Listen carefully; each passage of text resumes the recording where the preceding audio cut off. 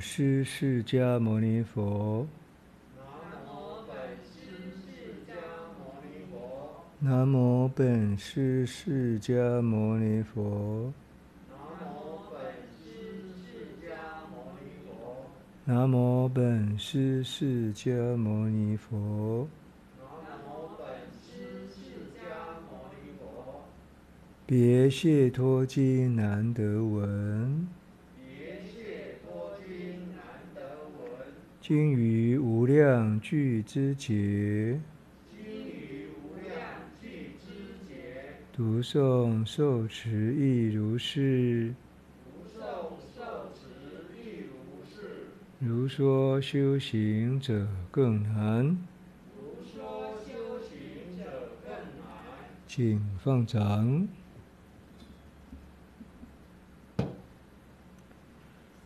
南山律在家贝兰略篇吃饭篇。各位居士，大家午安。阿弥陀佛。请放掌，请翻开课本讲义。课本讲义第一百八十二页，第一百八十二页。第四行，第四行，我们上次讲到三宝物，这个吃饭篇道界里面的三宝物的地方，讲过了佛物、法物。还有生物的第三幕的开头，啊，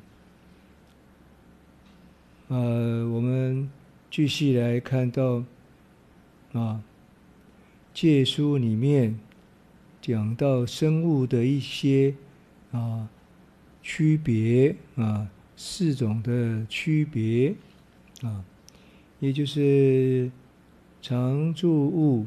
跟现前物两大类，啊，再分成常住十方二乘以二四种的啊生物，啊生人的物，生团的物品，啊生团的财产，啊，呃，讲到这个借书。啊，里面的常住常住物，嗯，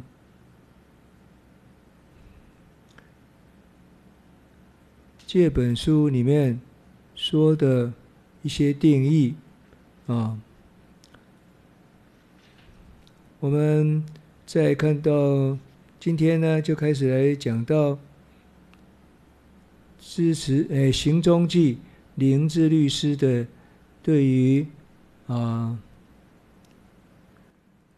《道宣律主》这本书所述的常住常住物第一种的一些啊说明的另外的啊注解啊，啊前面讲到了初出物出物体啊，说。画三条线，就是，呃，科这三个字作为科判啊，出物体就是列出这个什么物啊，常住常住物它的体的一个种类，所以给它一个总科判叫做啊出物体啊。不是出现什么物体啊？这个外星人来了哈，不明飞行物那个物体啊，是物常住常住物它的体的一个种类啊。属下啊，就是解释前面这一段，呃，第二行。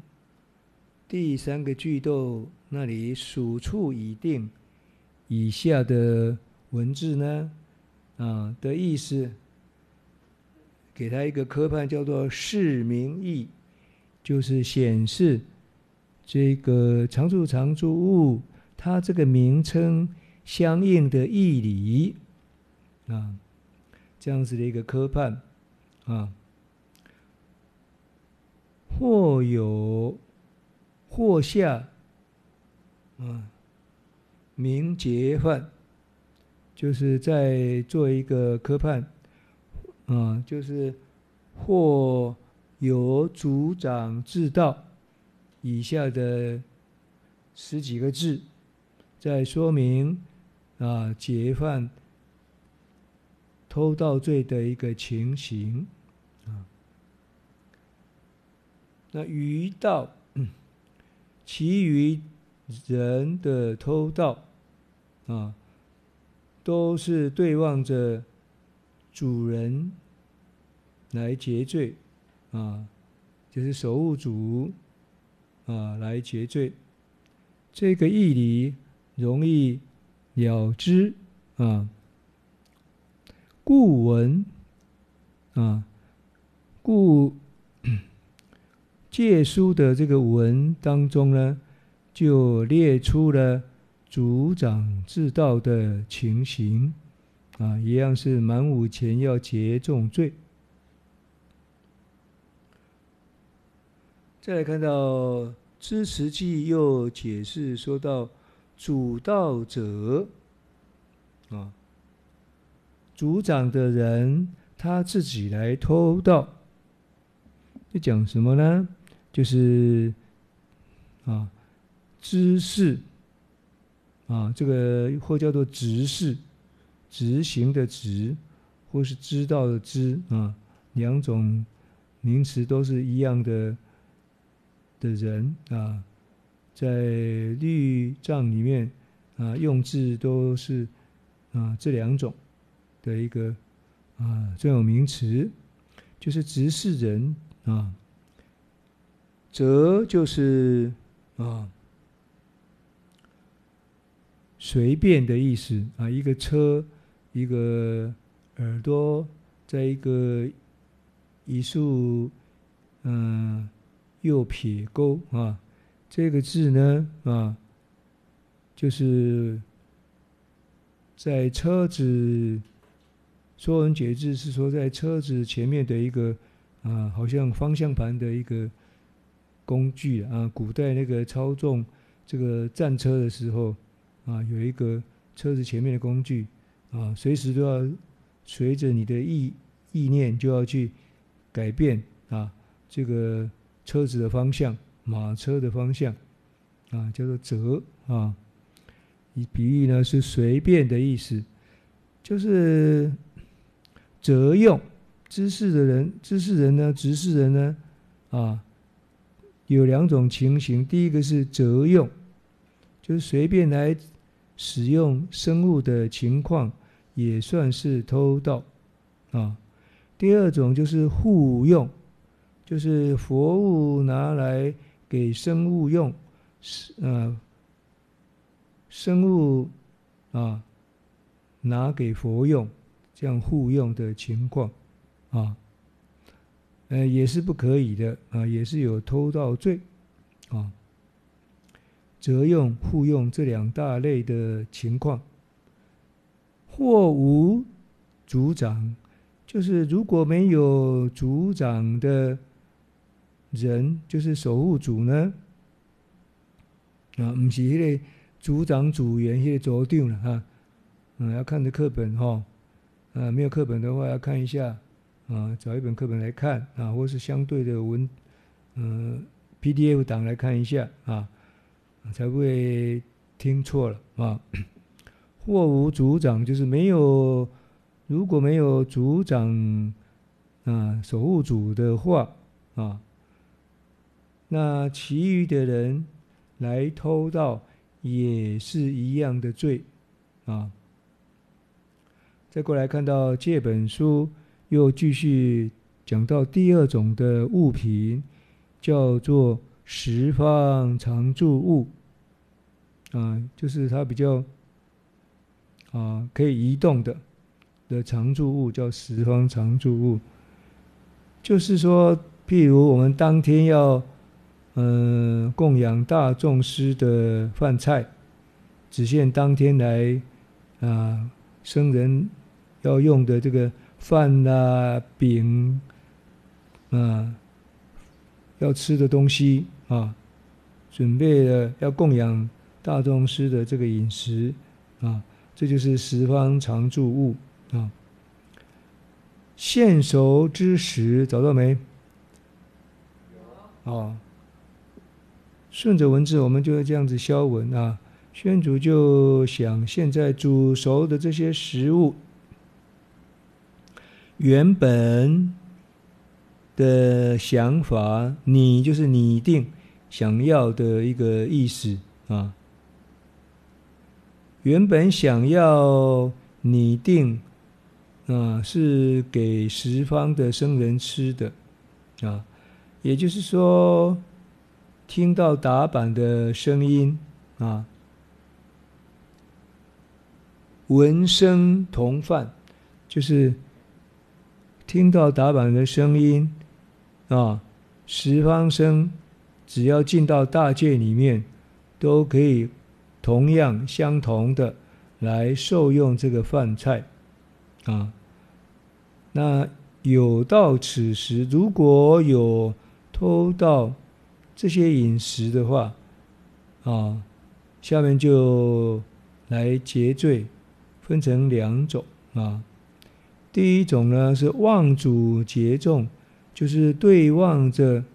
守护主来结罪啊，因为东西还是有主人的嘛啊。不管是这一组的真的是组长啊，走定了啊，或是说那个点座啦啊这样子的人啊啊来满五来结满五钱来结重罪。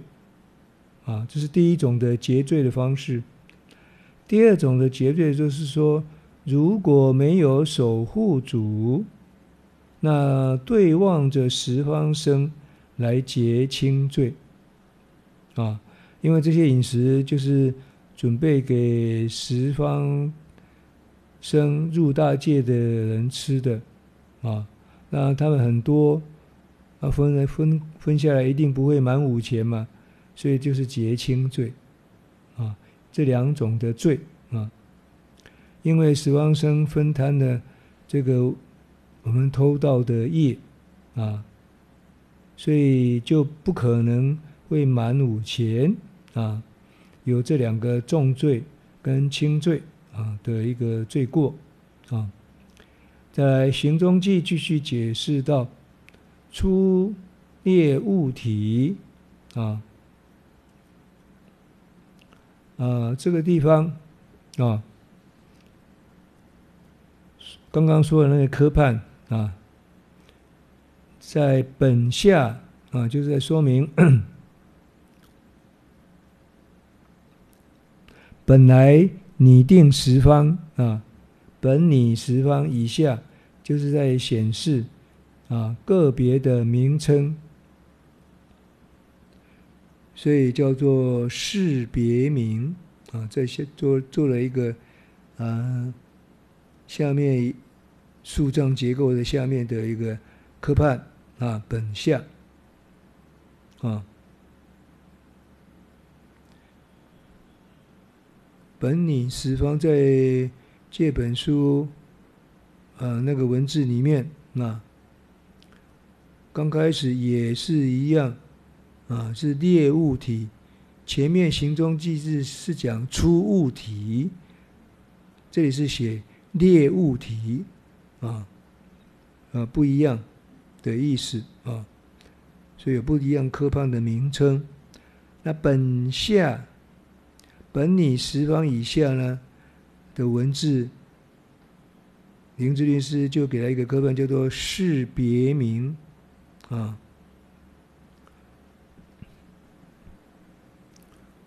那通明同上，就是后面这两个字常住，啊，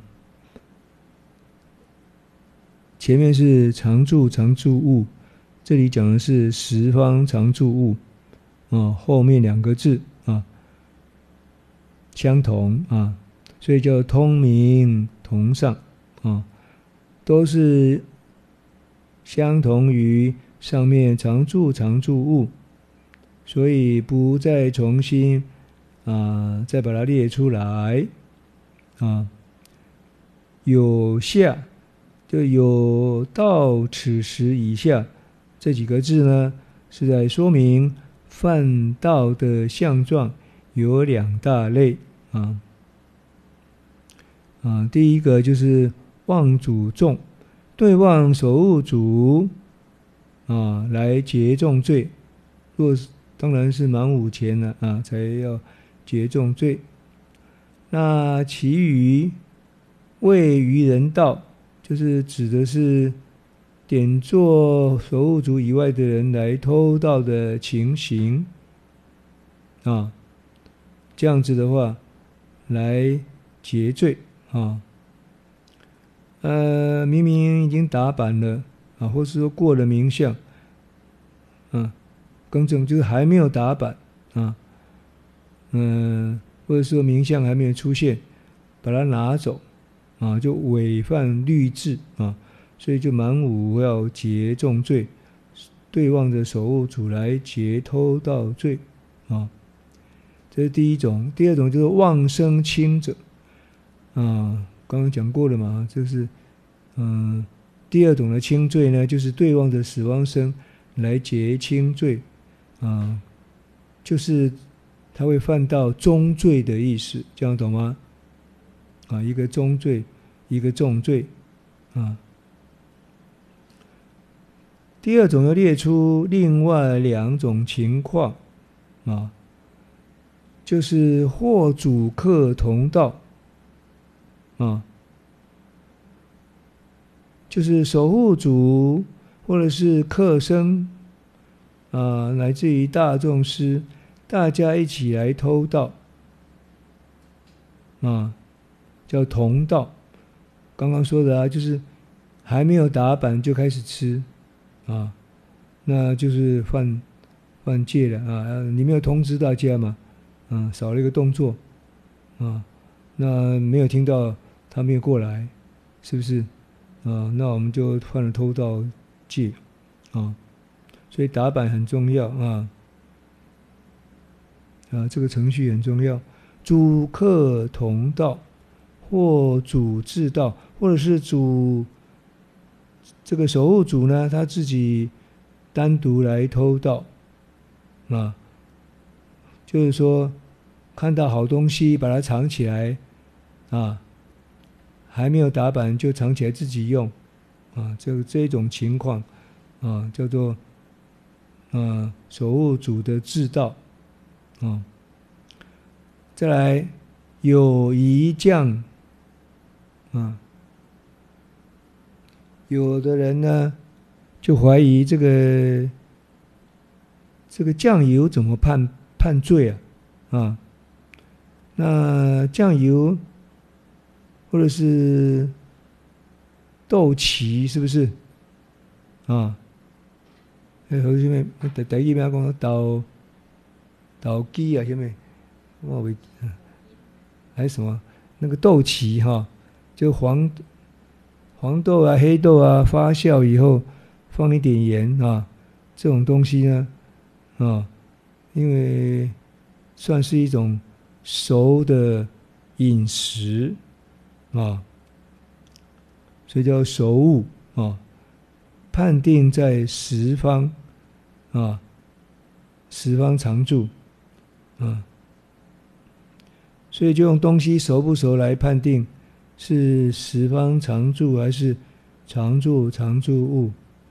开始要吃一定要煮熟嘛，所以是就是啊，十方常住啊，还没有熟就是常住常住物啊。像这样子的意思，来这个嗯，一这样的意义来分别，啊，呃，现在呢，灵芝律师就用这个义理呢来分别，啊，就是不问生跟熟了，啊，不要问饮食是生的还是熟的，只要啊，这个但使未入。就是只要还没有进入当日要共生线啊，要共生的这个期限啊的一个饮食，都属于常住常住物啊，这样判断比较嗯比较逻辑比较正确了啊，不是熟不熟的问题啊。就是你已经归于主啊，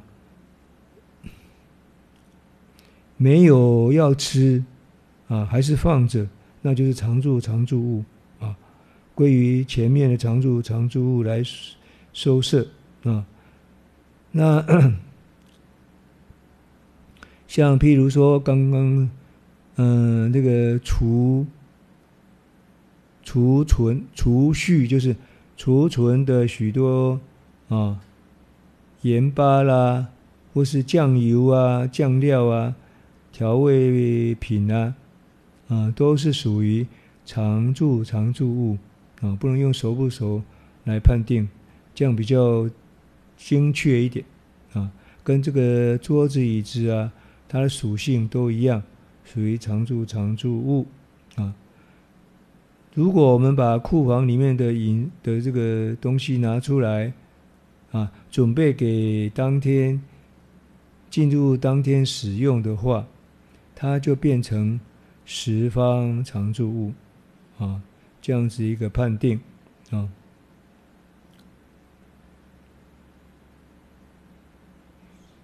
再过来看到，灵芝律师就做了一个问答。说到常住常住物，也是啊，通十方生来使用的啊，嗯，所以呢，十方生这个一除哈，以后呢，嗯，当然不会满五钱，那怎么会结重罪呢？啊，啊，回答说呢。分不分？可以分，还有不可以分，有这两种差异。分还有不分的差异，这样听得懂吗？啊，嗯，所以就有判重罪，还有判轻罪这样子的差别啊。再过来。嗯，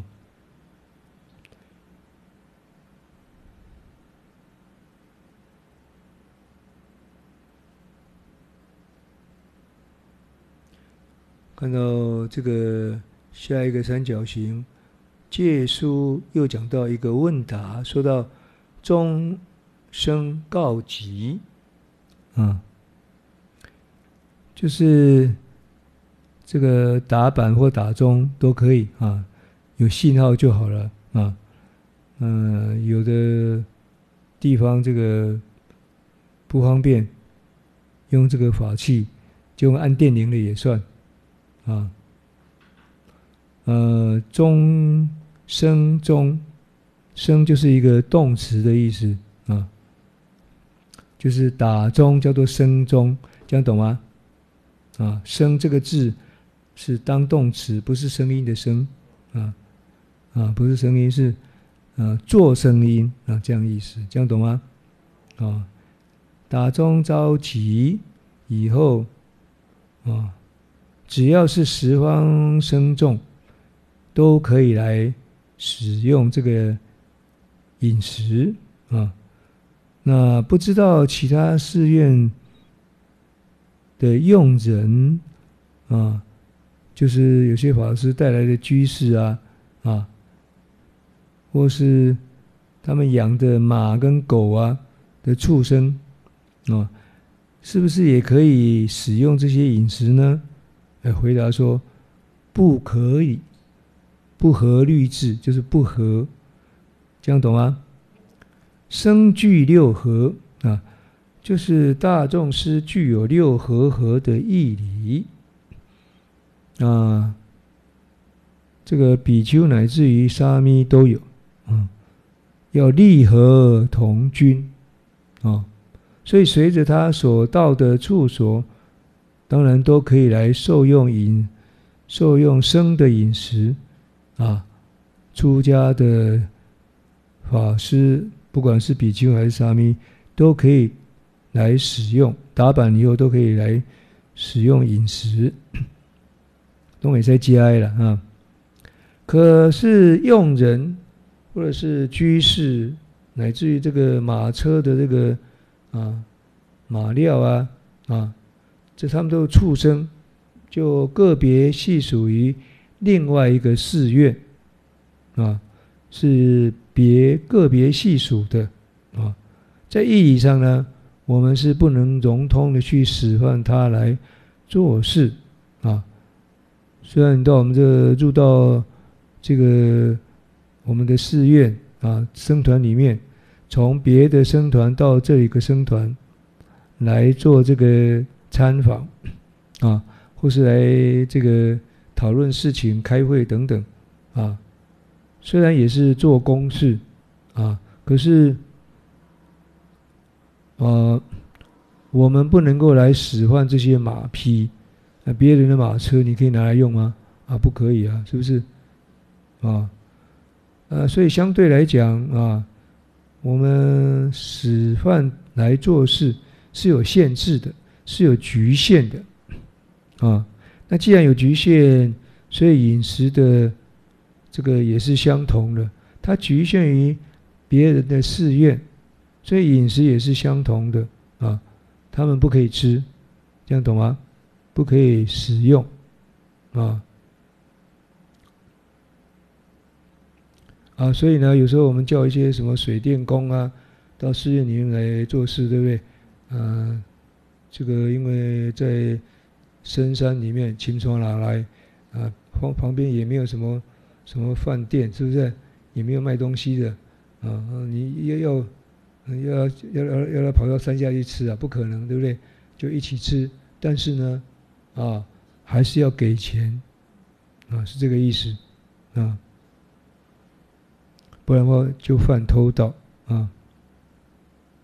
再来行中记解释说到这个问中发问人的心意啊，问句当中呢意味他是啊，他的心意呢以为是其他寺院的奴人或者是畜生啊。那彼此呢，是融通于佛门啊，跟僧团来做事的啊。那应该是似乎是可以来受用僧团的饮食啊。那回答当中呢，就先判定不可以啊，所以叫出具判定啊，就是不可以。啊，不合啊，有刚刚有讲过，那生生下生具六合以下这几个字呢，在解释生人可以受用的原因啊啊，最初呢就嗯显示生众融通来受用饮食的一个义理。哎，也就是六合合的意思啊。人下就是人畜别属以下这几个字呢，是在说明居士还有畜生啊，不能够融通来受用饮食的。嗯，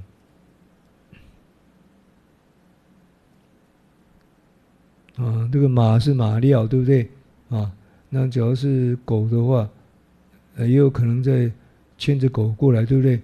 啊，因为怕有这个野兽啊，这个狗可以当做一个呃警示作用，所以随着这个僧人啊在在行走啊，嗯，这时候呢，这些狗还是不可以吃的啊。超云啊，行事超讲道，行道外事，就是行走到外面的寺院啊。僧人私底下自己带的这个佣人，还有畜生或是马匹啊啊等等，要去做自己私人的事情啊，不是为全国的，呃，就算嗯，你要对这个。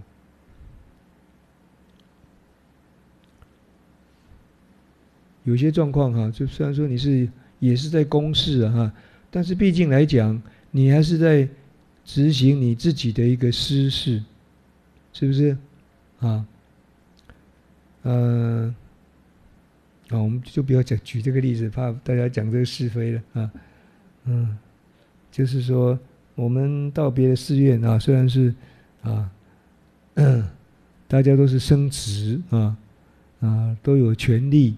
啊，这个县，嗯，这个，呃，这个全国的这个深政，啊，到县市，啊，县府的这个，呃，升，嗯，这个叫维诺还是什么什么一个称呼啊？啊，就是省的，嗯，这个。省的这个佛教会理事长僧人，到县某个县的一个佛教会的呃地方去做事，哦，啊，虽然你是阶位比较高，但是你不能够啊破坏这个规定，啊，不能够嗯，虽然你做了自己。虽然你的职位比较高，但是你是做自己的事情。你虽然是替啊整个嗯整个生团体制啊在做事，但是还是属于你的私事啊啊，所以这样子来使用其他寺院的生物啊，去吃人家的饮食啊，那我们的带去的居士去吃就犯重罪啊。当然你。你来吃，你本身来吃没有关系，就是十方饮食是十方的，对不对？啊，你这个来吃是没有问没有问题，但是居士就是不能吃，重点是在这里啊。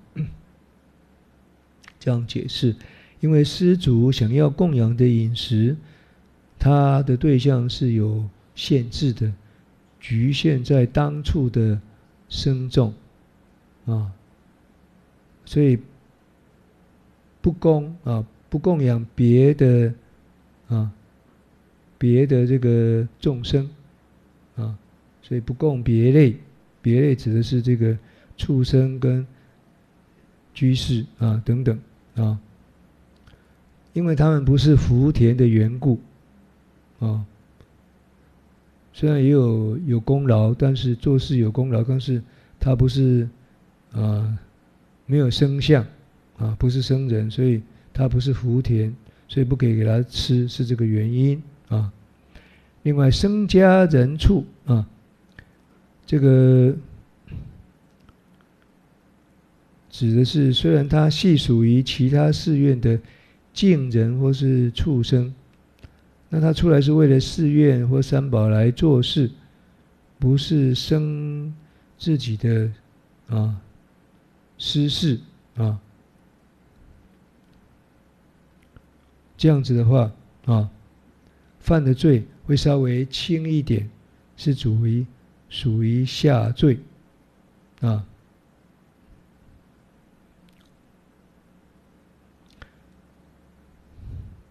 你为做私事，当然就是中罪了。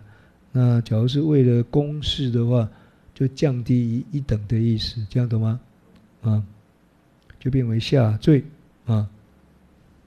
那。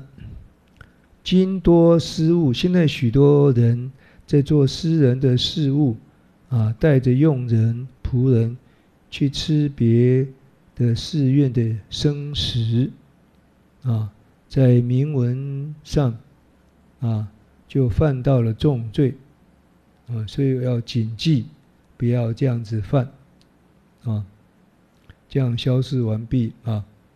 接下来看到《知识记》又说到。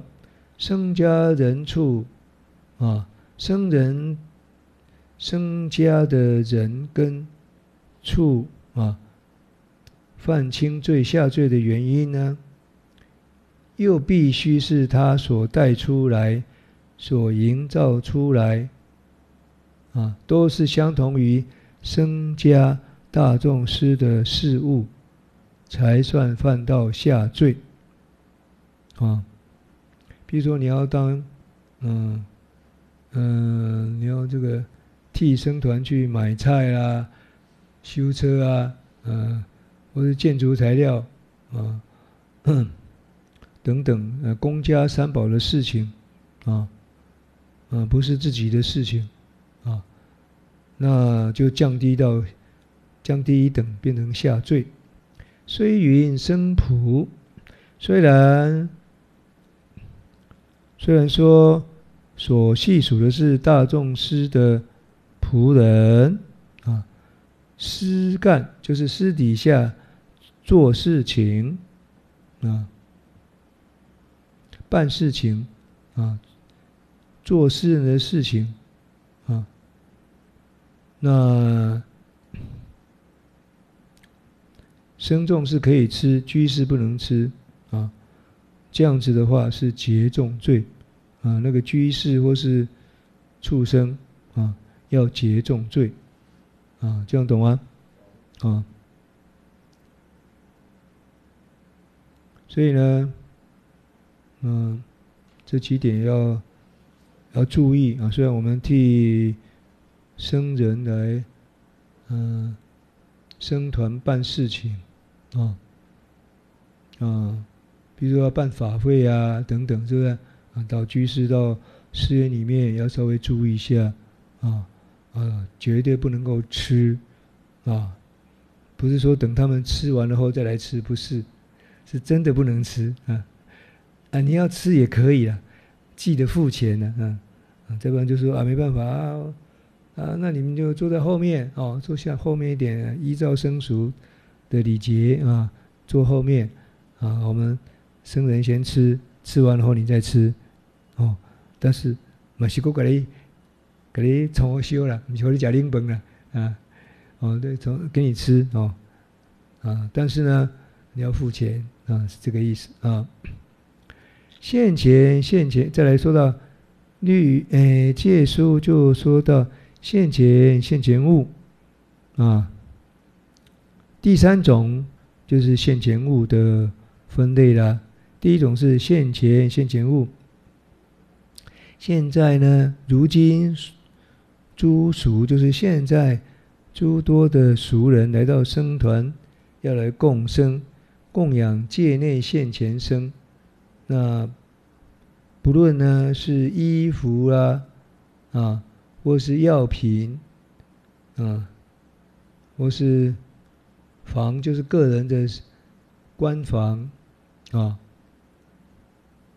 盖房子给僧人住，啊，比如说啊，僧团里面太挤了，啊，在建新的这这个房子，啊，给这个将来万一有要结下的话，有人要来住呢，有地方住，啊，来扩建一些官房，啊，这样也可以接受，啊，聚就是呃供养僧团。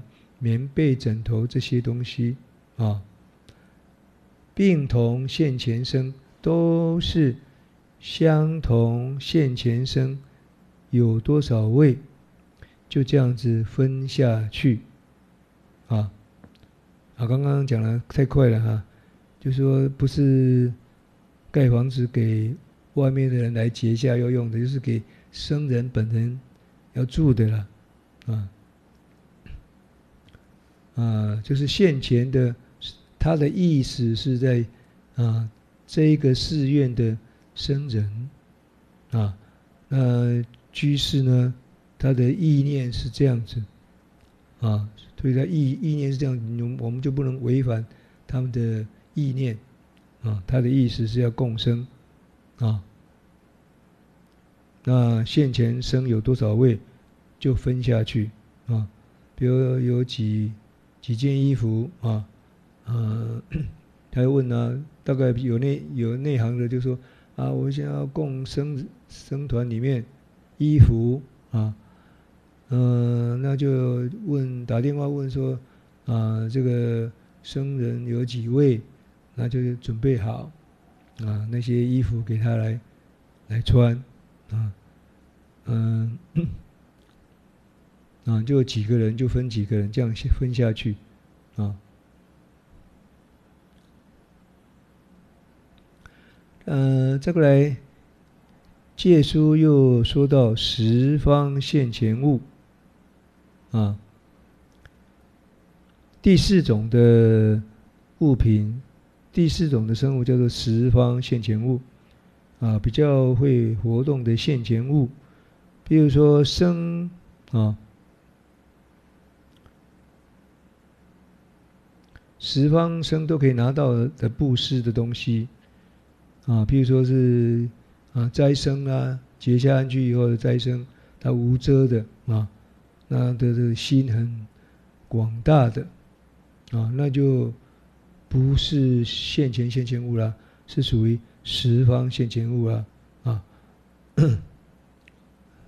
那以前就是连登记，就是因为统计上的方便。事实上，这个再生大会的时候，就是游览车一一啊登记了以后啊，有几个人就上车，啊啊就这样子啊，有来来几位就就发多少份的一个啊称金啊给这些僧人，还有饮食都这样子啊。这个时候是十方现前物。啊的一个概念，啊，另外一种十方现前物叫做王众、王五众的东西啊，五众王物，就是出家五众呢，啊，他们寿命终了的时候，啊，就要把它处理掉这些他的遗产，啊，就要比较，呃，便宜的这个轻物，衣服。衣钵、文具等等，就结膜分下去。那假如是这个贵重物品啊、车辆啊，或是它的园林啊，啊，这个就不能分啊，所以就进入到常住常住物啊。所以轻物这就属于啊十方现前物啊。好，我们休息一下，继续来讨论。好，继续。我们看到课本讲义，课本讲义第一百八十三页，第一百八十三页第四行，第四行。刚刚我们做了一个。开头讲到十方现前物，啊，就指的是生人那个可以得到布施的用品的一个大共生大会的东西，就是死亡现前物，还有王五众的东西啊。这个借本书都说过了，接下来在行事操又。提到然道通三宝，然而偷盗物品是通于啊佛法僧三宝物啊都有可能被偷盗。那当中偷盗罪，就以偷盗生物的罪是最重的啊，水损一毫，随着。偷盗而损失生人生重的物品，啊，即使像毫毛那么的一点点一毫啊，都会对外对望着十方世界的凡夫生，还有圣人生啊，一个一个生众的境界去解脱到罪。那因为他的境界是那么的广大啊，所以这罪就比较重啊。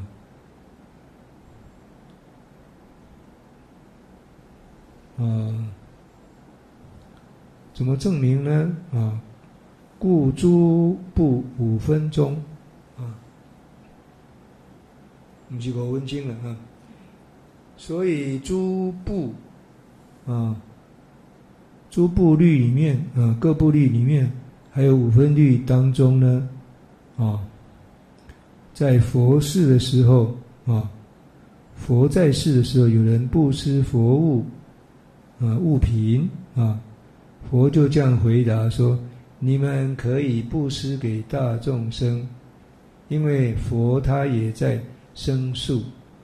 啊，我在生树，这个我就指的佛啊，这个第一人称自称。啊啊，佛陀也可以适用。啊，因为呢，假如是只供养佛。”那是其他人都不能受用了，因为佛物跟生物是不一样的，这样懂吗？啊，所以不施生啊，就能得到广大的果报啊，这就是佛将利益这个戒律的嗯意思，这个原因啊，啊，像比如说这个啊。盂兰盆大会啊，这个故事啊，木木莲尊者、木犍连尊者，啊，嗯，他要救拔他恶鬼道的一个母亲呢，啊，佛就告诉他，在结下安居以后，这功德呢，啊，来供养这个，来医治大众事的功德，这样就可以救拔他的妈妈，啊，这个故事啊。就是在讲这个布施僧团的功德比较大的原因。嗯，再过来，知识记在做了一些科判跟解释。上恶句就是道通三宝，生物最重这两句呢，啊，就推举出来这个道生物的罪的过失。最严重的情形，啊，随下就是随损一毫这一句以下，就在显示最重的相状，还有它的原因，啊，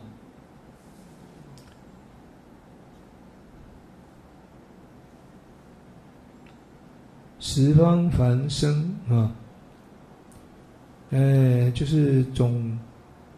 总刮了收摄出家五众的佛弟子，啊，还有这个，嗯，佛弟子这些凡夫生，还有这个三圣的这个圣贤生啊，三圣因果就指的是，呃，三圣的因为的，就是凡夫。啊，那果位就指的是已经修得正正得出国以上，或者是登地菩萨，乃至于已经成佛的佛，啊，这就是圣人的部分，啊，十番凡圣，啊，包括了三圣因果，啊，因位跟果位，这样懂吗？啊，因就是凡夫。果就是圣贤啊，一一劫者就是不是劫很多偷盗的自教罪啊，只是结一个偷盗满五钱的一个自教罪啊，它不是多的罪啊，总望多尽，呃，对望着。十方繁盛有许多的境界啊，所以罪道业道罪就很重啊。故下嗯嗯，就引文啊，引这个四分律的文来指示说明，像比如说平沙王。啊，在佛事的时候布施佛陀这个竹园精舍的园林啊，那乃至于这个莫逆夫人啊，波斯匿王的第一夫人布施佛陀的衣服，那佛陀的回答都相同于这边的文啊，除了布施僧团得到。较大的果报，啊，嗯，再过来看到行思操这个三角形，继续又讲出这个道宣律祖的一个文字，说到又方等经，就是大方等陀罗尼经，啊，这一部经上面讲到忤逆示众，呃，忤逆罪大家都知道嘛，哦。也不再讲啊，忤逆知道吧？有没有这个？嗯，新来的知道哈？啊，是重是根本重罪啊。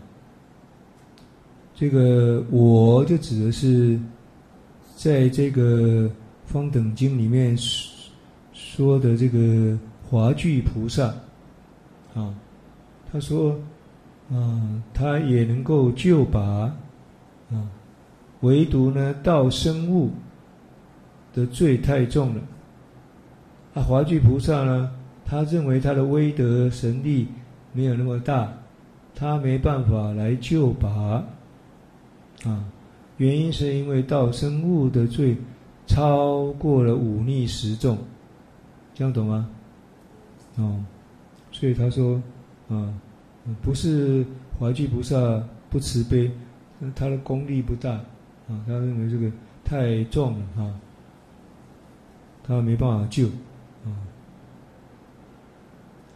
啊，所以我们去找佛来救来忏悔好了。啊，嗯，或是别的嗯较大的菩萨啊，嗯。如同，呃，其余如同这个，这个日藏分，就是大方等日藏分，啊，或者是说所谓的生护传，啊，这个经啊，里面所说的这个经文，有广泛的说明道生物的一个果报，啊。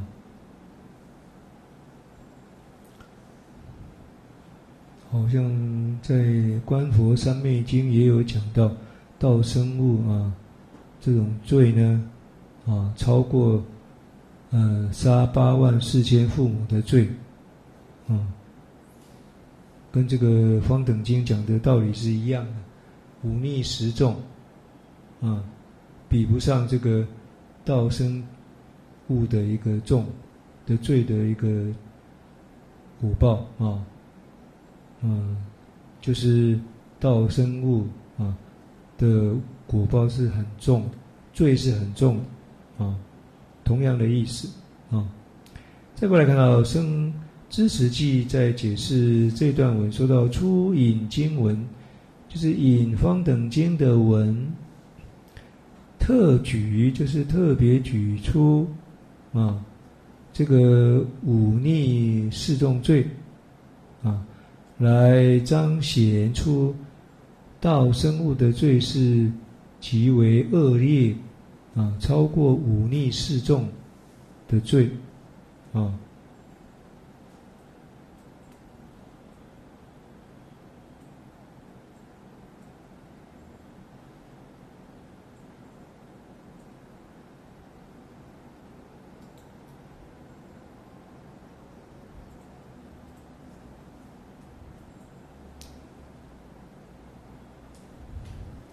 我不救者，就是嗯，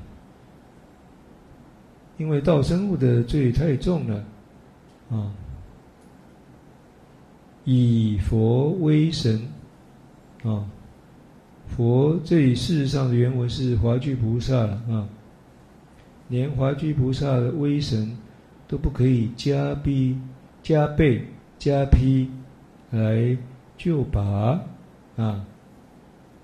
所以不是菩萨不慈悲，是因为道生物的人啊，他华具菩萨他放弃不去救他了，啊，是这个意思啊。因为华具菩萨他的威神，他自己的发愿不一样，是不是？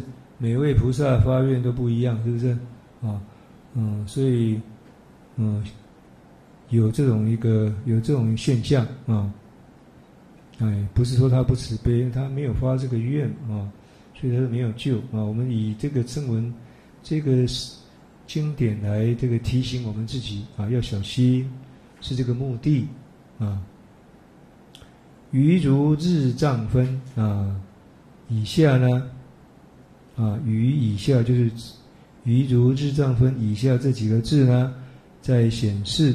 之后又省略掉了，嗯。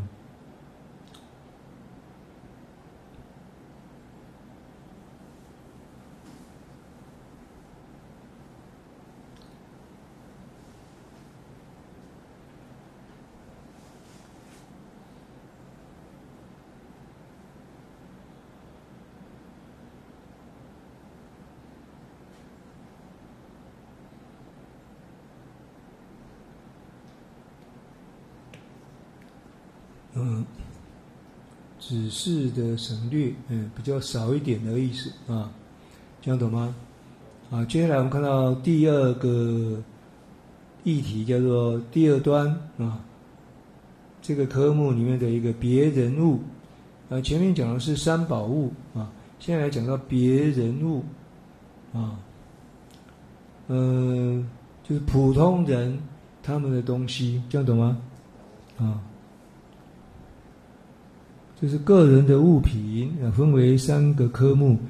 第一个科目是掌主损失，就是掌管的人呢，替人家保管的人，嗯，譬如说是这个，嗯，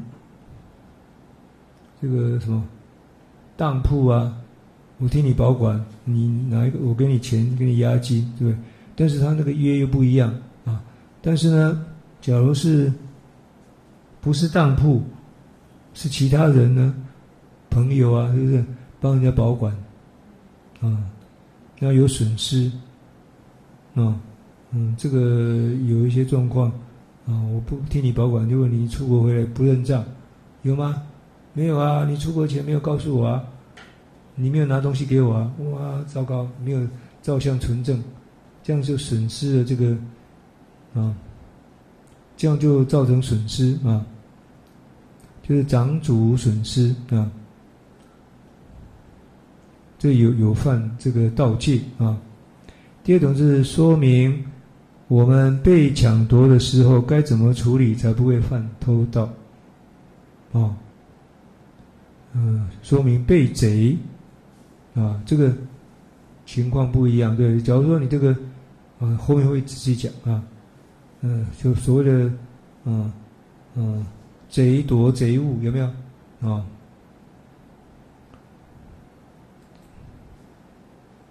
呃，第三种就是说明明道相，说明偷盗的相状。啊，我们看到第一个科目，长主损失啊，这本书里面说到初中最初当中啊。就指的第一科啊，第一个科目，嗯，嗯，当中的义理啊，玄妙啊的义理啊，如同在形式操里面就讲了很多了。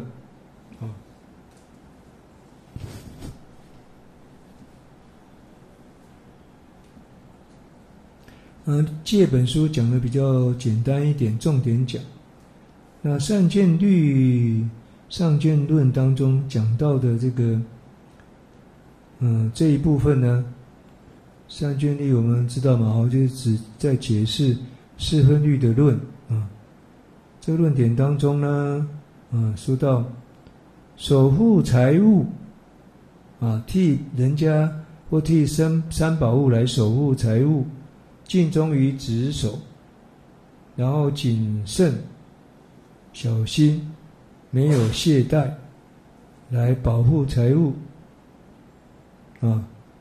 不过呢，因为偷盗的人，他私底下来偷窃，把东西拿走了，或是强逼取，就是强力的逼迫我们把东西拿出来，然后把它拿走。啊，叫强逼取啊，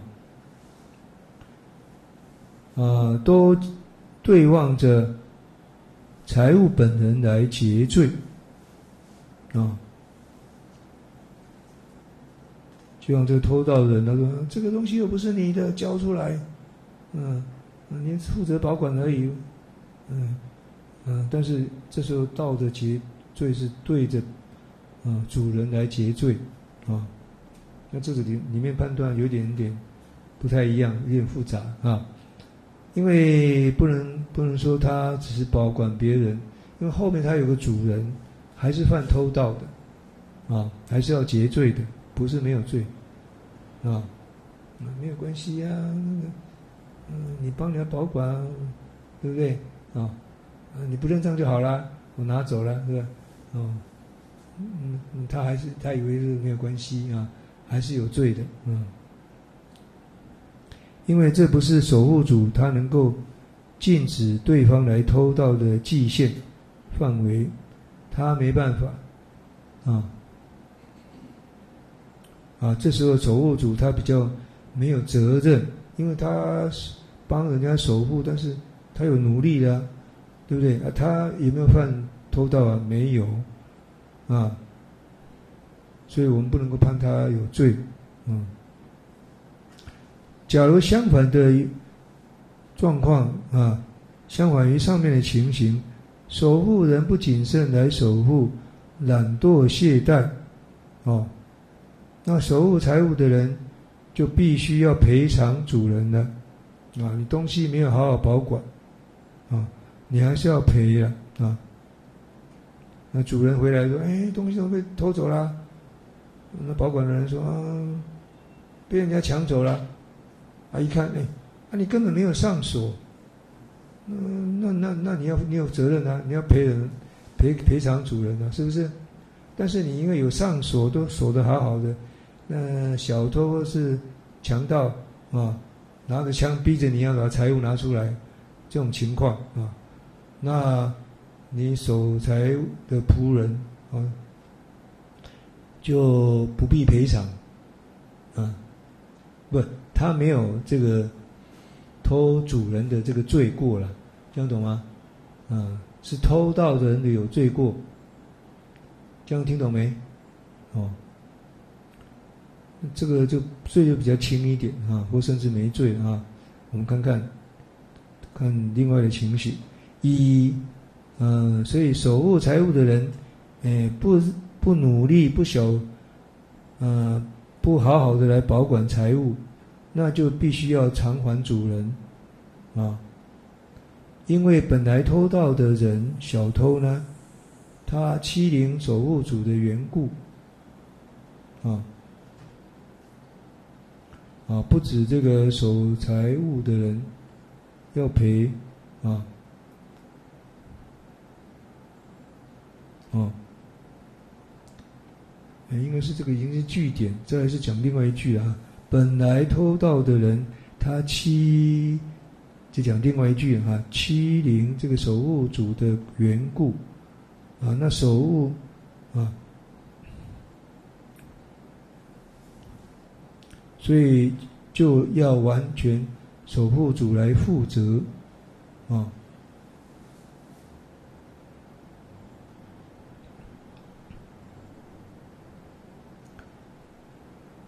本道人七守护。啊，因为本来偷盗的人欺凌了啊，守护。守护主的缘故啊，那完全就要啊。守护主来负责，因为他不尽忠于职守，啊，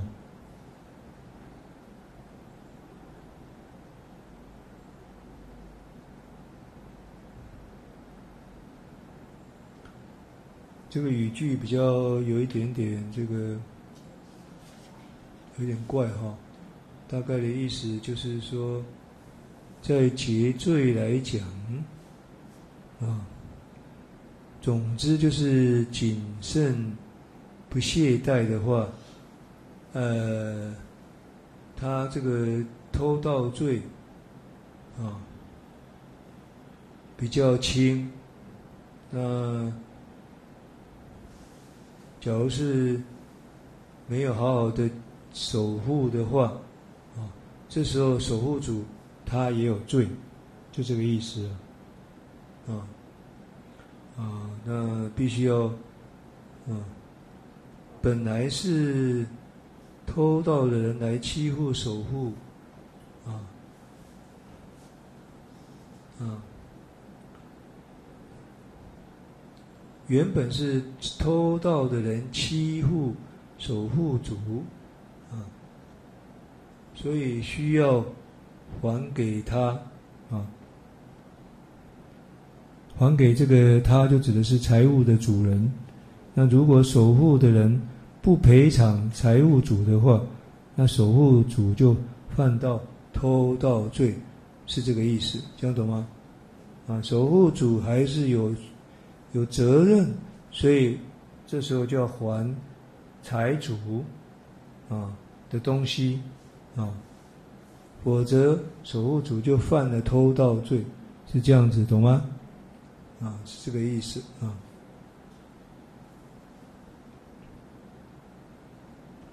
再来看到行踪记的解释，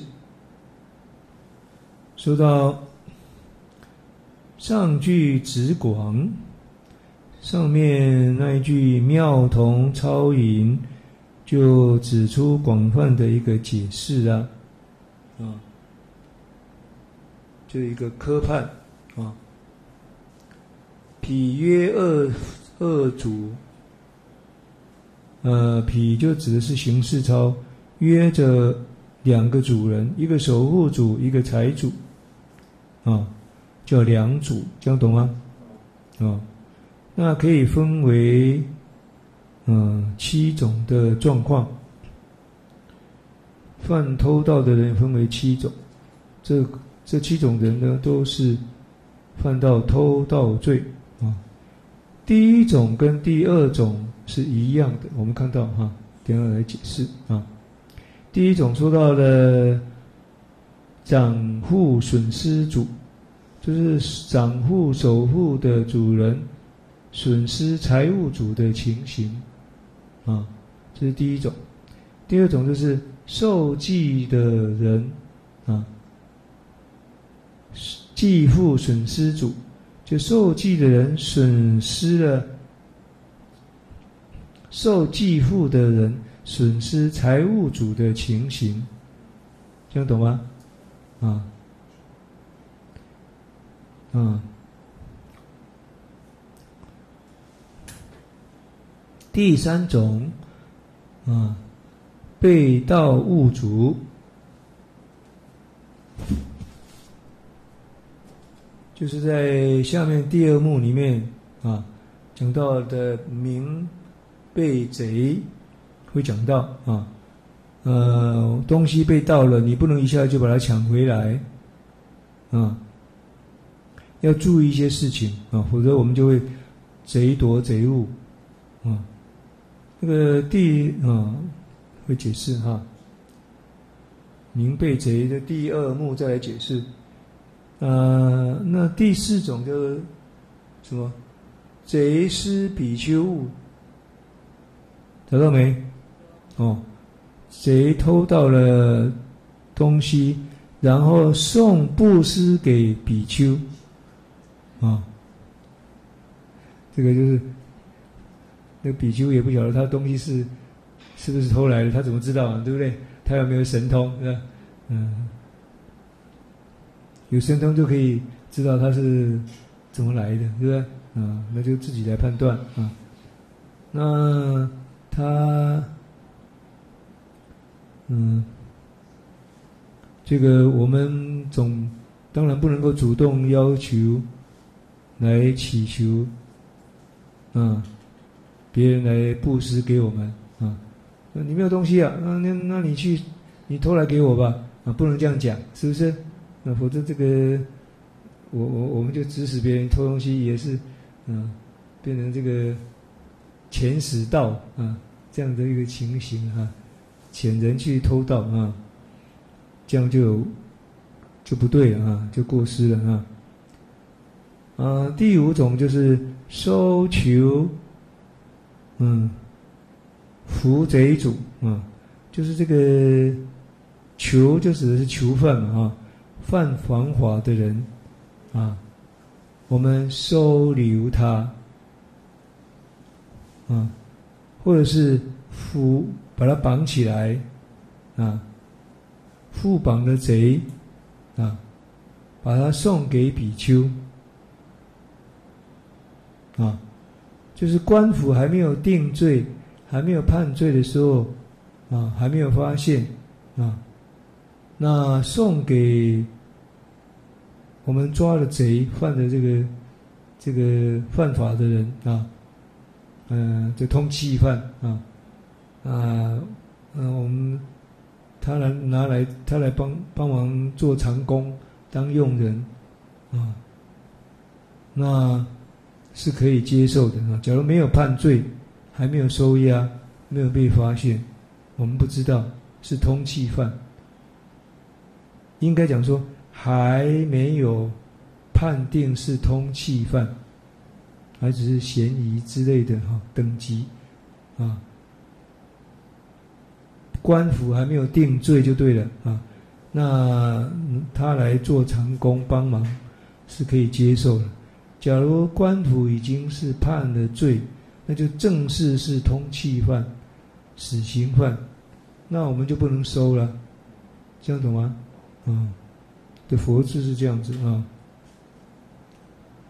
这个在不过的，在中国的民情是不可以这样子做的。这个是指这个嗯比较呃古代印度的一个法治，跟我们中国的法治不一样，民情不一样啊。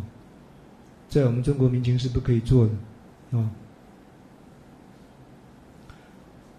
嗯，第六个，嗯，狂人失物主，什么意思呢？就是疯狂有精神病的人呢，他拿东西来布施给我，我们也可以接受，啊，因为我们不是向他来祈求的，是不是？他自己要给我们的，对不对？啊，第七个就是守世人做主，就是替人家，嗯。看守财物的人呢，啊，啊，像比如说安亲班在看小孩呀，啊，或是说那个古代那个看奴隶呀，啊，或是在看守这个负债的人呢，啊，那看守的人拿来布施给你，啊，那你度他出家是可以的，啊，不过在中国还是不行的。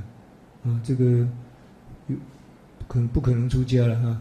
嗯，这个有问那个十三遮，有那个问问那个遮遮罪啊啊，问他说：“哎，你他就不可能得戒？就算他你你给他度他出家，他还是不得戒啊，因为他欺骗嘛啊，那这个法结魔法就不成立啊，这是另外一个问题啊。”嗯，总之呢，就是要有有第七这以上七种的状况，啊，这些啊，这些人啊，布施东西给你，我们要这样子做一个分类，七大类啊，并广如彼，如同行思操讲的非常多、非常广大啊。讲到七项，在犯偷盗的一个对象啊，有这七种。那这个行思操呢啊，就说。虚者寻之，有需要的人呢，啊，可以去找一找，来看一下，啊。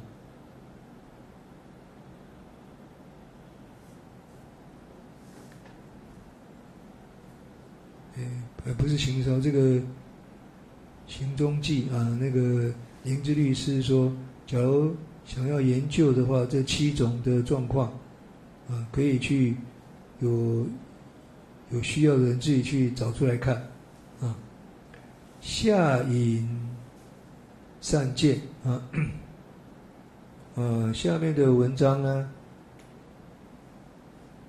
就引出上见论。啊，讲到脾出位啊，就是行思操讲的第一位。啊，掌护损失主。在三见论里面当中就讲到，啊，嗯，出名守护谨慎，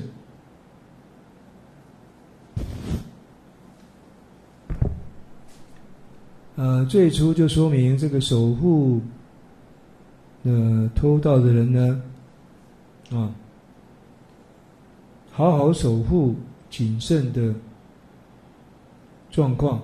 那偷盗的人就直接来对望于本物主，来结偷盗罪，啊，不会损失到守护主，啊，结罪的时候守护主没有罪，这样懂吗？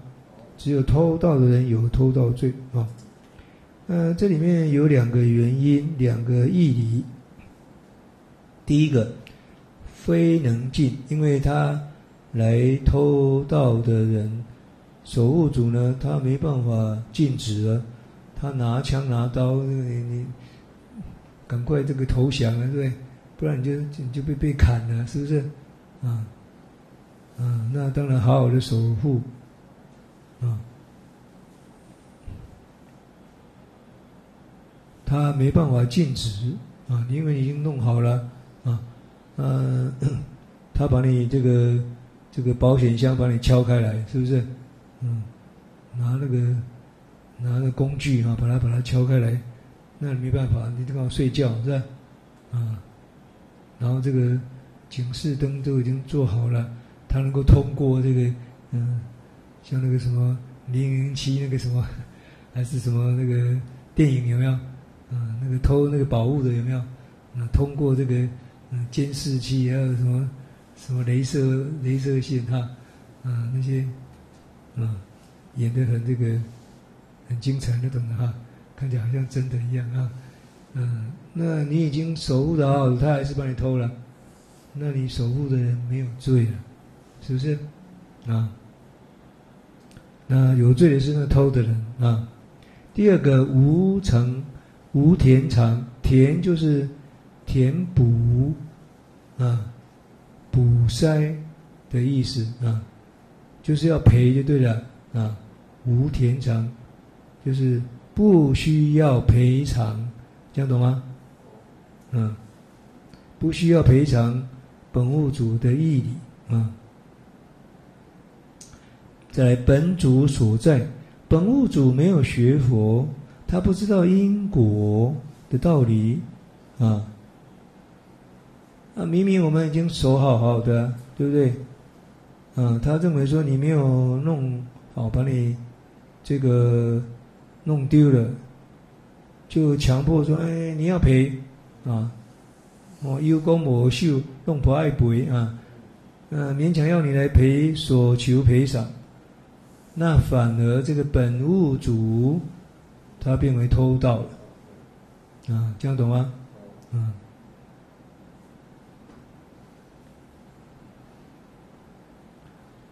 若下次明，其次说明漫长啊。这个漫长，这个就是意思什么意思啊？就是不勤劳的，或者叫做应该叫障，嗯，漫障还是漫长啊？不勤劳的举长，哦，就是没有好好的守守住的意思，就是漫长啊。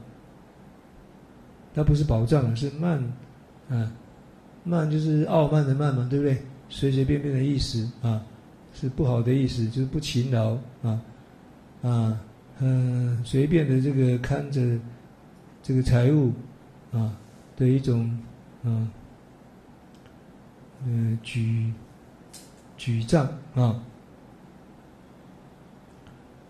那不好好的守护啊。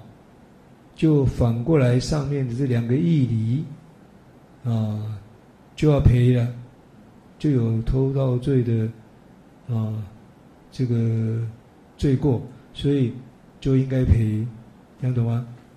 啊，你没有管好嘛，是不是啊？所以被偷了啊，那连个这个那个这个什么钥匙也就也没有买呀，把它把它包起来啊，把它看管好。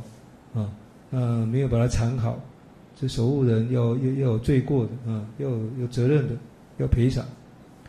嗯，故从守护，所以偷盗的人呢，啊，小偷就损失了，嗯，这个守护主的情形啊，那劫罪有劫劫守护者的罪，跟偷盗人的罪。啊，偷盗的人当然有罪啊，但是对象是对着守护主来来结罪啊，所以叫做本道人欺守护故啊，这样懂吗？休息一下，继续，请大家翻开课本讲义，课本讲义。第。一百八十四页，第一百八十四页，第七行，第七行，我们看到第二个科目，啊，明被贼，啊，说明被抢夺东西被人家抢走的情况。被贼人抢走，啊！说到呢，被贼夺者，如抄所引，如同形式抄当中所引的，啊，在义理上呢，来彰显，啊，分为两种，两位，啊。啊，所谓的现跟不现啊，被偷盗的情形，第一种叫做出现的现，就是盗贼当我们的面啊，来现钱夺取东西抢走。第二种就是不现钱，私底下把你拿走。就是偷，啊，就有点像是一个是盗，一个偷，这样子吗？啊，但事实上，这个这个名词上的一个解释的一个嗯范围，我们有时候是嗯重叠，啊，这个以前也没呃前面也已经说过了啊，大家这这方那个定义上啊，那大概就是这个意思啊，一个现跟不现啊的一种抢。跟偷啊，在劫罪的时候呢，啊劫偷盗罪的时候，就应当呢随着两种主人啊，我们刚刚有讲两组嘛哈，两种主人就是财务主啊，跟这个守护主是不是啊？但是这里的二主又不一样了。啊，前面是所谓的财务主、守护主，这里的恶主呢，是指的是财务主跟贼主，因为我们现在在讨论这个贼是不是啊偷盗这个啊，所以这个恶主指的范围不一样，稍微注意一下啊。那怎么判定呢？啊，就依着两种主人他们的心意啊，就是贼组跟财务组呢，他们的心意是否要断绝啊？以这个拥有权的意念来判断，这样懂吗？有没有认为说啊，算了，那就是不是我的，偷走就算了，那就是他已经断绝关系了，这样懂吗？啊，断绝心意的，啊，不是关系啊，是心意，啊。我们看到第一种，如果财主已决，就财务主已经决断拥有了先心意，因为啊丢掉丢掉就算了，对不对？但是偷盗的盗物的主人，这个盗贼呢，得到的东西的心意。已经决定了，啊，就是我们认为东西已经啊，算了，这个就是被偷偷走了，拿不回来的啊，他已经有这个想法了。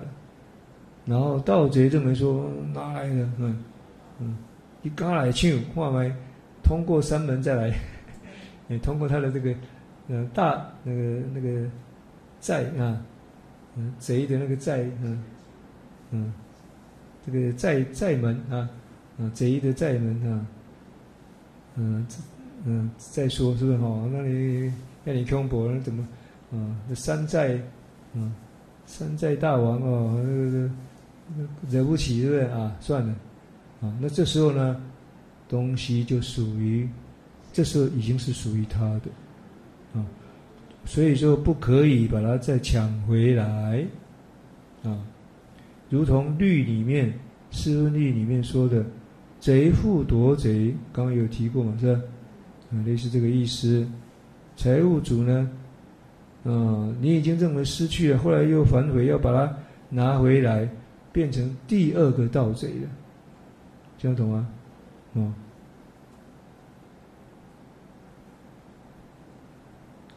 那第二种就是财主虽定。财务主的心意虽然已经决定了，所以说他认为东西还是他的，啊，他还是没有要放弃，啊，可是贼主，譬如说小偷，啊，他拿了东西还在路上在跑，啊，他跑得很慌张，啊，哦，他还没有拿拿到他的，嗯，他的山寨里面，啊，还在跑当中，拥有权。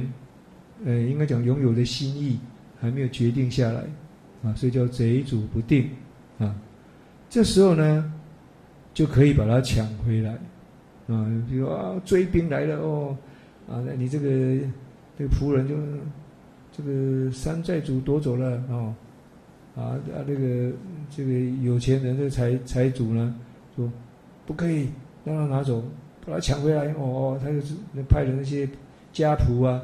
骑着马去追啊，是不是？还没有追到山寨前，都可以抢的，听懂吗？啊，还是可以抢啊。因为小偷偷得因缘还没有完全具足，因为他还没有偷到他的山寨里面啊。那道业还没有完成完全的成就啊，所以这样把他抢回来没有罪啊。第三个就是财主迟疑。财务主的内心还有犹豫，在想这个东西是不是真的已经失去了呢？啊，然后盗贼的心里已经决定，他认为说已经放进来了，放在我的山寨里面了，或者是说这个小偷来讲，东西已经把放在口袋里面了，认为是他的了，啊，这时候就不可以把它抢回来了，啊，就像是扒手对，把东西扒扒走了，对不对？哦，他们知道这个状况，他们很很很小心啊，就是把整个呢，嗯，在外面外国旅行的时候要注意一下啊，这个扒手哈，那拿了以后马上传给别人，第二个人，那第二个人又传给第三个人，到最后传出去，你根本哎，你刚刚摸我的东西，你是不是小偷？啊，我什么东西没有啊？你摸看了没有啊？是不是啊？他就已经传走了，对不对啊？啊，像这种情况呢，他已经放到他的口袋里面，就是他的东西嗯，放在另外一个团体，他们扒手团体的东西的口袋里面。不是偷的那一个人的口袋，是整个团体的口袋已经啊，嗯，他们有自己的一个管理财务的一个一一个一个结构啊，啊，他们自己的制度啊，啊，啊，他们心意已经决定了，你放在口袋认为他的东西，这时候你再去把它抢回来，哦，哦，你你你很厉害哦，还有可可以把它循循线去偷回来，啊，嗯。啊，这个就不对了，就是贼夺贼物了啊，就不能再把它夺回来了啊，因为他的偷盗的因缘，道业已经成就了，这时候不能去偷啊。当然你不你不你不服对不对？那只是啊不服嗯，但是不服没关系啊，你就是请官府去抓，对不对？那官府就要调那个什么嗯这个是。这个录像摄影带，那那那个摄影机啊，嗯，录像带啊，去去找出来，谁可疑啊？一个一个去追，是不是？啊，那那是另外一回，另另外一个故事啊，另外一件事啊。就是说，你这时候我们就不能够啊，去抢回来了啊，要靠官府了啊，我们不能够自己去抢回来啊。何问本主？何必去问本主？本来的主人，啊，因为他已经一刀偷盗业务，业已经成就了，啊，所以到第三点，我们就知道我们不能够夺回来的，就何必何问本主？何必去问本来的主人，他心意是怎么样？这样懂吗？你就没有必要去问啊，他有没有断绝心意啊？他已经道业成功了啊！第四种状况就是聚不定，就是本物主跟小偷这个贼主两个人的心都还没有决定，这种情况就可以把它收回来啊。那可以把它抢回来啊，因为其心不定啊。因为偷盗的者的心还没有决定啊，那业非通畅，就是说这个道业还没有完全的成就，没有完全的通畅的原因，听得懂吗？今以四句，现在就用这四个句子来约略的来判断啊，嗯，这种情形啊，总之就是偷到。小偷的心还没有决定就可以拿回来的，假如他的心已经决定，就不可以拿。简单这么说啊，我们看到下一页文，下面的文字，行中记的解释说到出总举啊，呃，给他一个给他一个科判啊，林志立说说总举这样一个科判，嗯，然后现不现啊？有两种啊，刚刚讲过了啊。现现不现就是第一种啊，当着，也就是所谓的对面现前盗啊，就是当着物主的面前来偷盗啊。那不现就是啊，私底下不现的去偷盗，有这两种啊。那佛陀的意思就是说，在印度时代，他们的观念就是财务的主人啊，就是嗯，讲的是很善巧啊，财务主或者是贼主啊，他们心意已经决定了，那就是他的了。就好像我们就看那个什么《一千零一夜》，那个阿里巴巴跟四十大盗有没有啊？那个。四十大把偷到的东西，说芝麻开门那个故事有没有？那把它藏在一个山洞里面，对不对？啊，那这个东西就是贼人的主贼主了。你去偷就不对了，听得懂吗？嗯，虽然说他是也是把抢来的，对不对？但是他就算已已经是算他的东西，嗯，我们再来偷的话，我们就有罪，听得懂吗？啊，因为决他已经决定都是他的啊。若下别列，若财主已决啊，这五个字，这四个字以下，就个别的列出来。啊，出后啊，就总共就列出四种情形了，啊，就是这种组合，就是财务组跟贼务组这两组，他们的心意的决断，或者是相反的不决断，这样排列组合是不是有四种？啊，那最初跟最后。嗯，初就是两个物主的心已经决定了，啊，就不可以夺啊。那后就是两个物主的心都没有决定啊，那是可以夺的啊。二句可解，这两种都可以理解。在次句，嗯，以贼心啊，以这个小偷或盗贼的。得到物财宝的，嗯，得到财物的心还在犹豫，还没有决定啊。那偷盗的业还没有成就，所以说缘不具啊。偷盗的缘还没有具足的时候啊，他当然是可以夺回的。第三，反之就是说。啊，贼主的心已经决定了，财主不能再把它夺回来，啊啊！可见这四种情形的第一种跟第三种，啊，财主贼主的心已经决定了，就不可以夺了，啊，看贼主的的。贼主的心有没有决定不决定？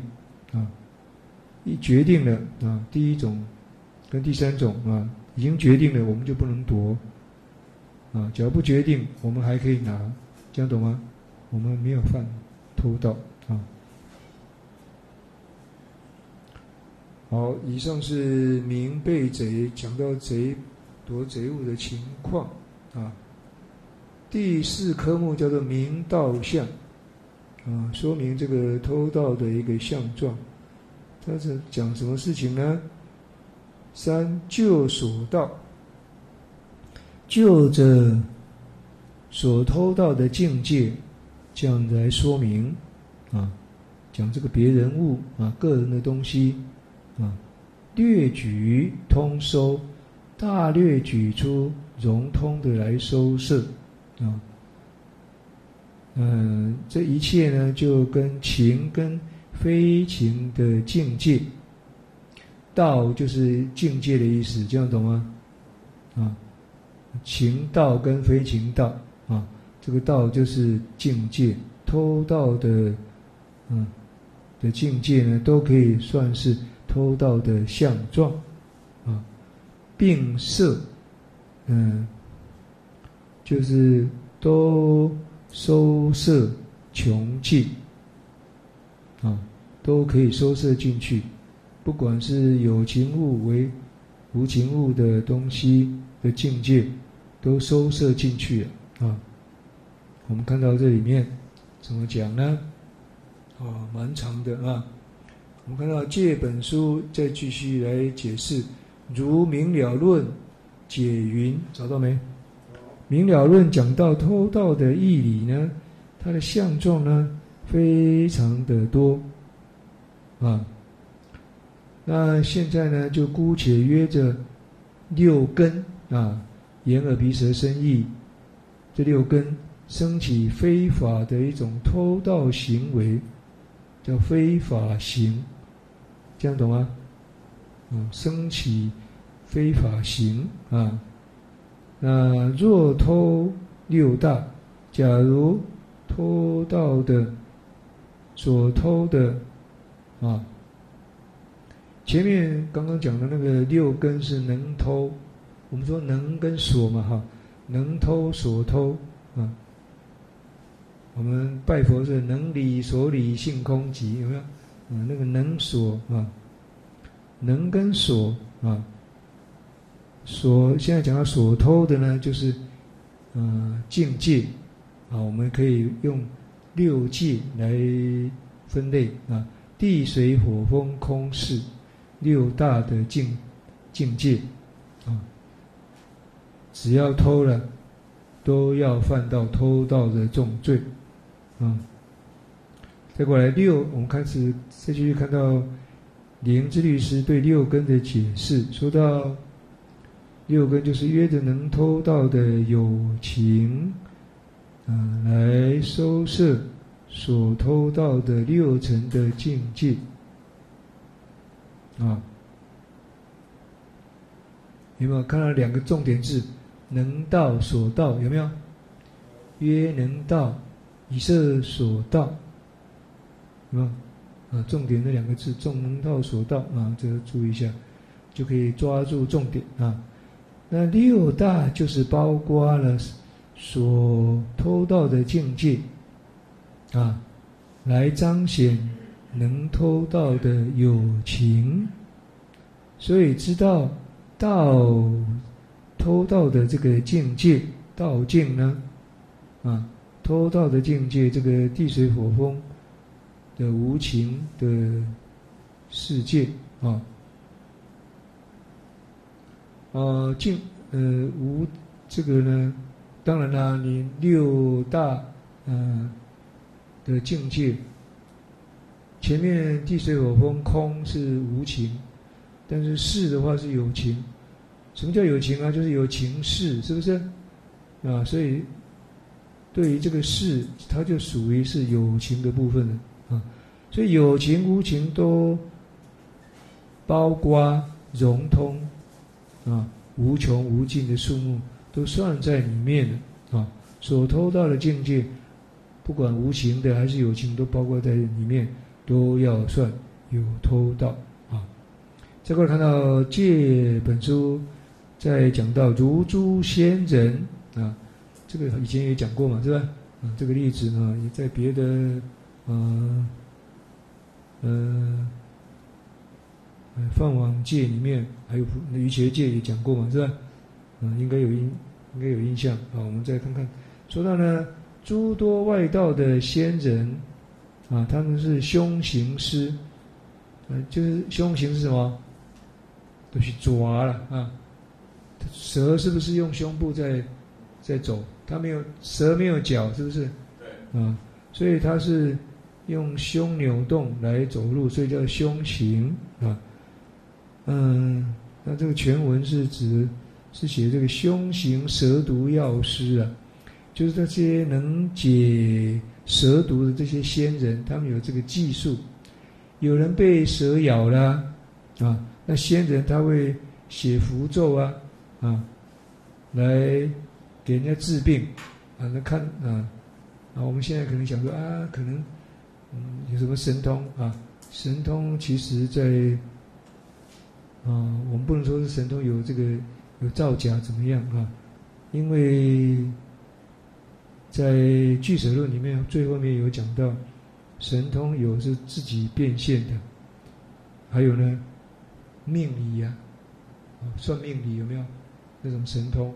还有呢，就是药，药也是一种神通，啊，说不定他这个仙人他是用药，药把它涂在这个纸上，然后呢画几个符啊，来给他治病。事实上，那个是药粉已经在上面了，啊，挥一挥啊，你没有看到而已啊，是不是？啊，我们依照现在的那种科技的这个这个观点来看，可能是这样子啊，不一定啊。嗯，因为它里面也 也没有人去这个考古发现什么的啊，这些什么仙人书的这个东西啊，再去分析里面的成分，那就可以确定啊。我们只能这样子猜测啊。那仙人他会做仙人的书啊、符啊啊，那看到书跟符的人，蛇毒就痊愈了啊，那必像这样的话啊，也必须给仙人钱呢。你们说，啊，你随便搞啊，你回回都要给他提钱，嗯，你骗人的，嗯，江湖术士，嘿，嗯，不给要钱啊，不可以，是不是？啊，这也算偷盗啊。嗯，那有的比丘因为他没钱嘛，呃，没办法去看病啊，啊，那就他就去偷看啊，偷偷的看一下仙人书，啊，看了以后，那蛇毒也解决了，对不对？啊，那仙人啊，不管仙人有没有损失啊，啊，这样子。啊，看了以后没有给钱，就犯偷盗了，听懂吗？啊，因为他做看时的时候，他作意不给价钱，不给钱，他心里面这样想：我不要给钱，我要偷看，有偷的心，是不是？那就类似什么方便罪的意思了，懂不懂？啊，就已经犯到偷盗了啊。嗯，怎么判？你后面再讲啊。以此例啊。以以这个例子来比喻世间诸多的秘方，它或或是一些重要的技术啊。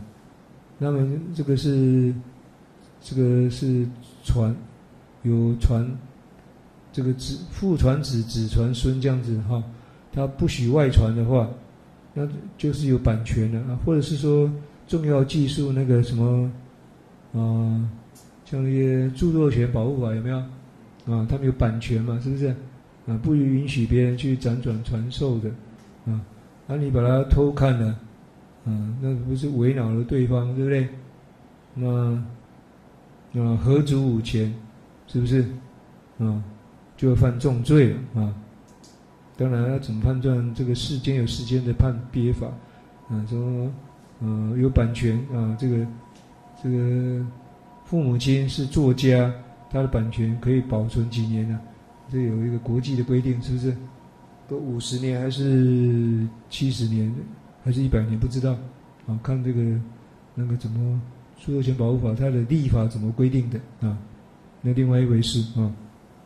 啊，所谓跟眼，所谓眼道，所以上所说就是用眼根去偷盗的情况，啊，偷看也。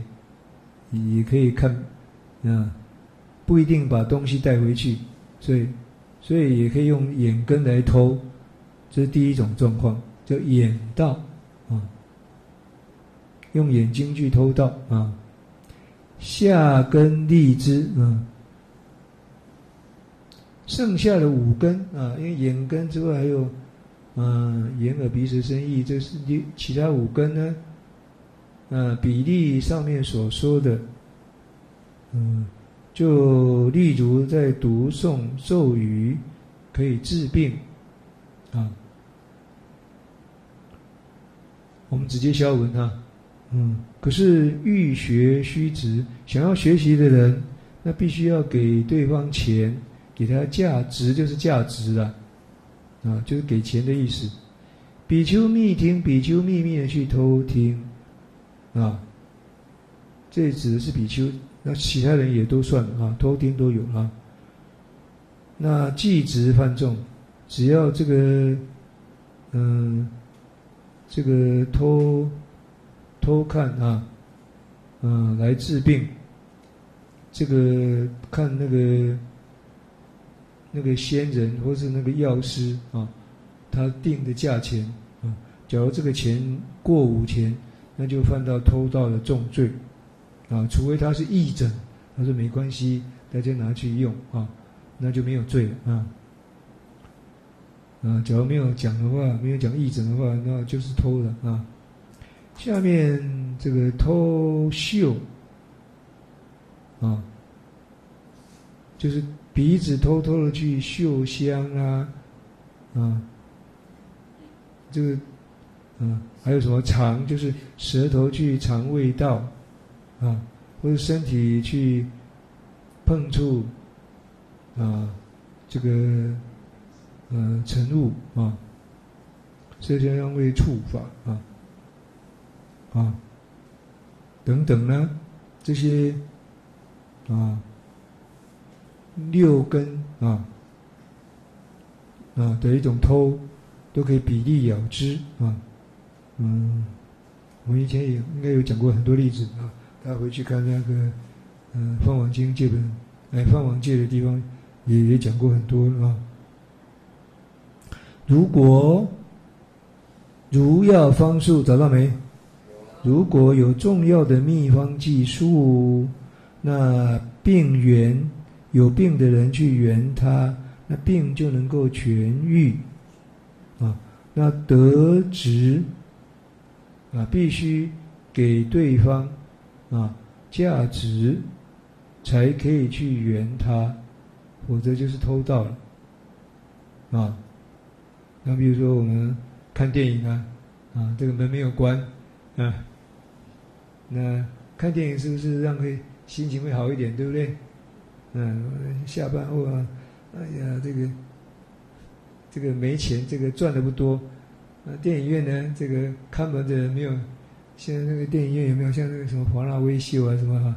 有些地方哈，啊，微秀影城啊哈，啊，那个没有很严格的手啊。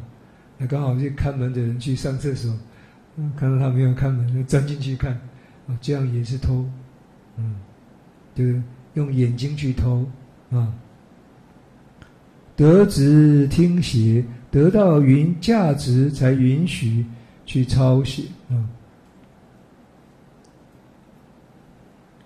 得到我们价值才允，才听许，就是允听，应该讲听许啊。允许这样懂吗？啊，听许或叫允允许啊，听得值听写，不能是听写的哈，嗯，叫念四声当动词啊，就是允许的意思。得到价值才允许去抄写，这样懂吗？那比丘就偷偷的啊，这个用嗯用方法呢去学习。啊，那心圆得菜，心里面就去圆这个东西，这个技术，那病也真的好了，痊愈了，啊，啊，当然也可以了，但是你要给钱，啊，嗯，啊，不给对方价值，那那就犯了，啊嗯，除非那个那个别人已经答应了。像比如说我小时候去看电影，这个，嗯，我亲戚他们跟电影院很熟啊，嗯，小朋友呢，呃，那时候大概小学二三年级吧，哈，跑去去说，哎，找我这个表姐，啊，他知道啊，你要来看电影啊，来进来进来，嗯，拿个冰淇，拿个那个冰，比如古代的冰棒啊，给你吃，或冰冰棍啊，嗯。嗯，那那这个，这个就是食髓知味啊，第二次又去，嗯，跨边级啊，嗯，透过关系啊，这个也是有有有有一点点偷盗啊，嗯，嗯，去哎心源德菜，心去缘这些东西，啊，啊病好了。不予价值，不给对方价值，啊，所以呢，就犯了偷盗的重罪，啊，这样解释过了，这样听懂吗？再过来看到下，赶快来看到下一个文字，说到六根中，呃，行中记又解释呢，能到的这个六根当中呢，啊，初尾最初呢，就是。尾呃一个科判啊，嗯，尾是眼根这四个字的科判，啊，就是尾就是详细的意思，详细的解释眼根在偷盗射程的情况，听懂吗？啊，用缩减这个科判啊，呃，凶行师前面讲过了啊，就是明了论。讲的这个凶行蛇毒药师啊，所谓的蛇呢，它是以凶来扭动来行走。那遮就是，哎，这个念遮吗？我应该念士啊。胡适大师，胡适先生，那个中央研究院那个胡适先生有没有？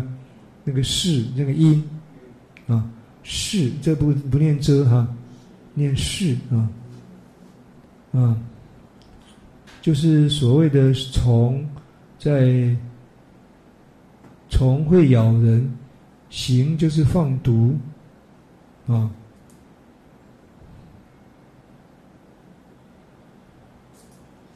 啊，就是行中记的一个解释。再来下下，就是下根荔枝啊，不是龙眼荔枝那个荔枝了哈。以底下呢，这根荔枝就是六根啊，荔五根之外的那个呃比例啊啊，根荔枝以呃根下。以下呢啊，这几个字啊，比例其余的五根来行偷盗的情形，这样懂吗？好，啊，这几个字再把文言文解释一次，消文。另外，接持知识记又说到最初就第一段呢，第一点，偷看人家仙人书是一种眼道色啊的情形。啊，眼睛偷盗射尘的情形，如宋下如送咒治病以下，啊，不给价钱，用耳朵去听偷盗的声音，啊，比如说有的这个，嗯，用耳朵听好像也可以治病，啊，也算啊，偷。下啊，就是偷嗅长处，以下这几个字呢，啊，就是大略的指出其余的三个，嗯，沉，跟沉静的沉，啊的境界啊。若要，啊，若要下就是若要方术啊，以下是指的一根。去到法尘的境界，啊，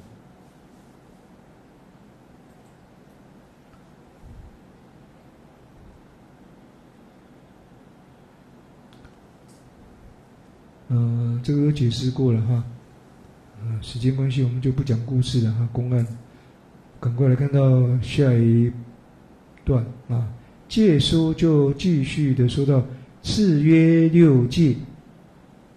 其次，再来约着六大啊，六界就是六大啊，地水火风，嗯，空世啊，这几个呢，六种界限啊，前啊，地水火可知，前面呢。偷盗的地界的东西、水界的东西、火界的东西，我们可以了知啊。呃，这个地界就是土占人家土地啊，这能了解了哈。啊，水呢就是嗯偷用水，是不是啊？呃，饮用水这个去偷人啊，你没有付钱就是偷了啊。啊，或是这个，嗯，时间还没有到，啊，这个，嗯，灌溉的水、灌溉用水呢，把它偷引过来，到自己的田里面，啊，那这样子也算偷啊。不管饮用水或是，嗯，灌溉用水都算水大啊。那偷人家的暖气啊，也算，啊，就是火嘛，是不是？偷人家的暖气、电热器种种。啊，这也算啊。比如说，人家在嗯烤火，冬天很冷啊，他在烤火，啊，乞丐呢跑过去，走走走，离开离开，啊，把他赶走对。那你你这个看主人不在，跑去哈休息，这也是偷，是不是？啊？如律啊，嗯，就讲到呢四分律啊，有人呢拿有拿这个加持的咒语的扇子啊，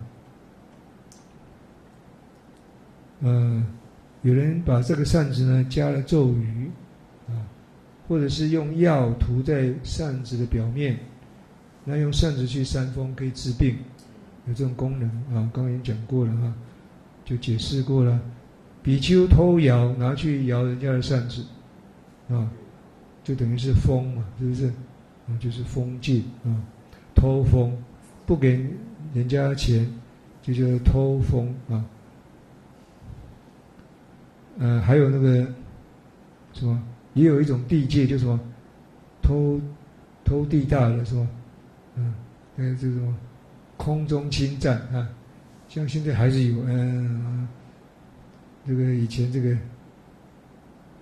这个我的亲戚家啊，他们这个隔壁啊，那个这个不满啊，呃，怎么这样子，盖房子都没有讲一下，然后呢，因为是只有一楼的那个铁皮屋，啊，这样斜斜下来，他就在三楼嘛，把它通出来，你一楼没有，对不对？那那你二楼三楼没有盖啊？对，我把空中侵占，啊，空中楼阁这样子盖过去哈，哦，哦，那或是你要倾斜，翻到别人的地地界，就这个意思了啊，啊，空中侵占，啊，妨碍他人的空间，你这个，嗯，我没有偷啊，呃不不是不能算没偷哈，你空中侵占啊，也也可以偷到人家人的空间。啊，也算侵犯地方哎对方的地界，因为你会妨碍人家造屋啊，我叫我盖房子怎么办？我盖上去就被被你顶住了，是不是？啊，就是套倒空啊。那智者世界智慧，它是一个明了心事的一个界限啊。智慧摸不到看不到啊，但是也收刮在。明了心事的一个界限，啊，啊，像这个智慧财产权啊，你偷取的话，那等于是偷人家的事，这样懂吗？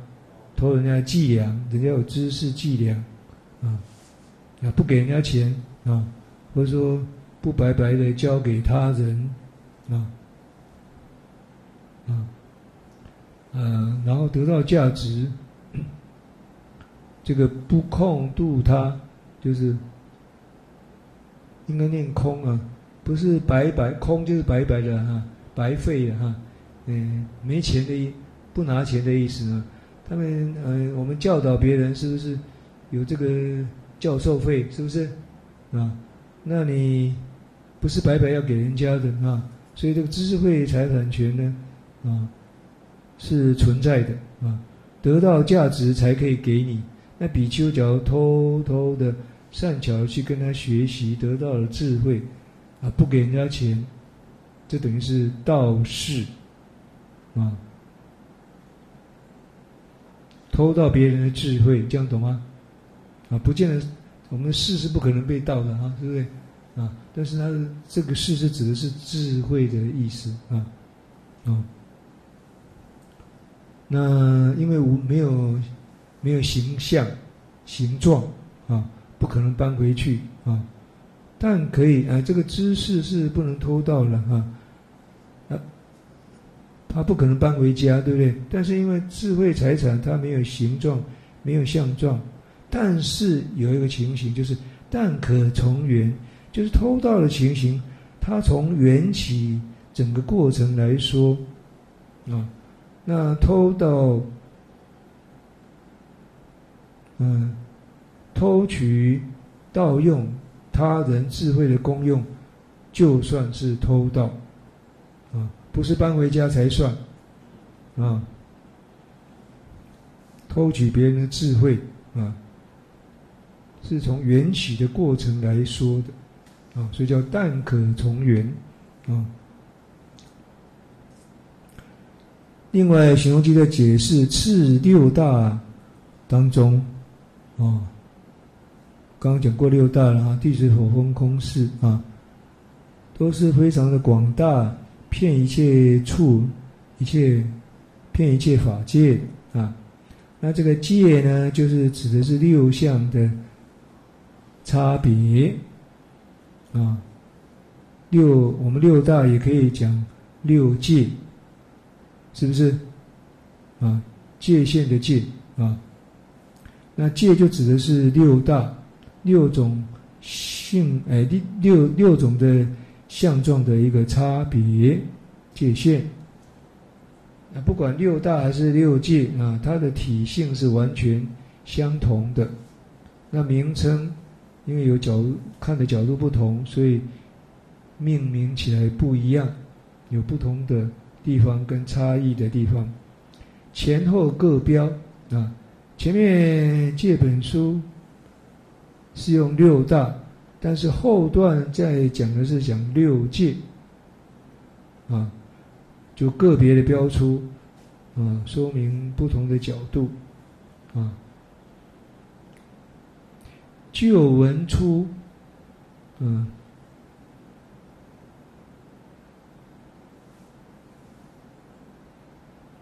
略指前三。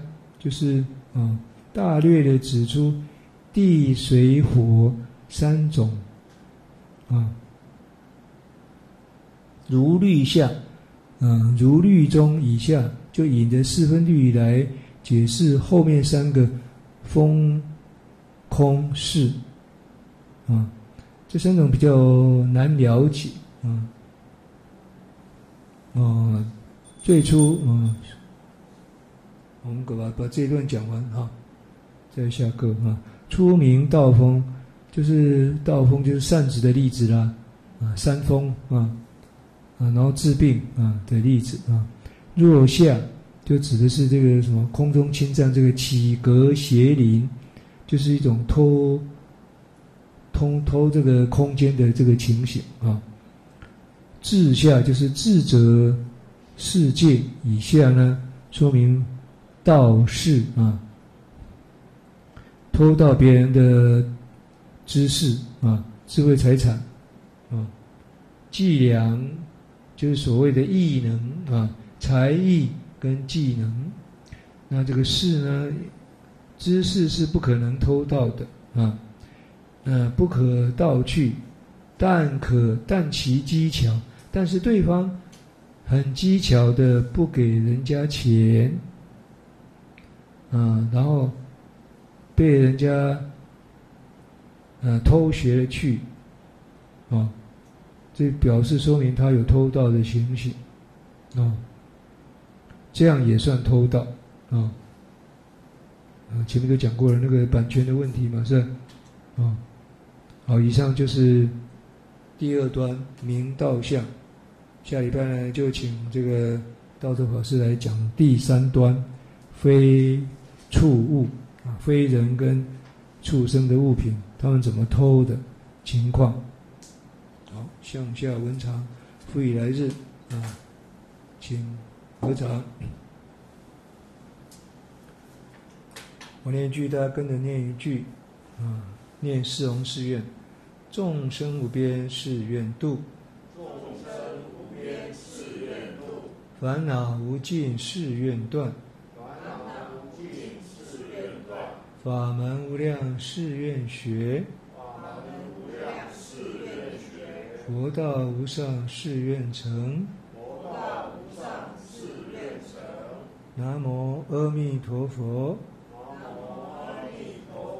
南无阿弥陀佛。南无阿弥陀佛。南无阿弥陀佛。